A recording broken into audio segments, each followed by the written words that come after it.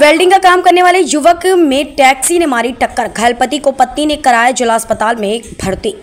शिवपुरी शहर के गुरुद्वारा रोड पर बीती रात एक तेज रफ्तार टैक्सी चालक ने तेज़ी वाला लापरवाही से वाहन चलाते हुए सड़क पर पैदल जा रहे एक युवक में पीछे से जोरदार टक्कर मार दी, जिससे युवक गंभीर रूप से घायल हो गए। युवक को इलाज के लिए जिला अस्पताल शिवपुरी में भर्ती कराया गया। वहीं टक्कर मारने के बाद टैक्सी चालक मौके से भाग गया। जानकारी के अनुसार सुमन झा निवासी पुरानी शिवपुरी कटरा मोहल्ला ने बताया कि उसके पति जितेंद्र झा वेल्डिंग का काम करते हैं। गुरुवार की रात दुकान से काम कर घर लौट रहे थे। तभी गुरुद्वारा के पास एक तेज रफ्तार टैक्सी चालक ने जितेंद्र झा में टक्कर मार दी जिससे वह गंभीर रूप से घायल हो गया। उन्हें इलाज के लिए जिला अस्पताल शिवपुरी में भर्ती कराया गया है। नाम है आपका? मेरा नाम सुमन झा है। कहाँ की रहने वाली? मैं पुरानी शिवपुरी कट्टा मोहल्ला ये कौन है आपके? ये पति है मेरे। क्या नाम है? इनका नाम जितेंद्र झा है। जितन झा है। क्या काम करते हैं? लोहे का काम करते हैं। वेल्डिंग का। वेल्डिंग।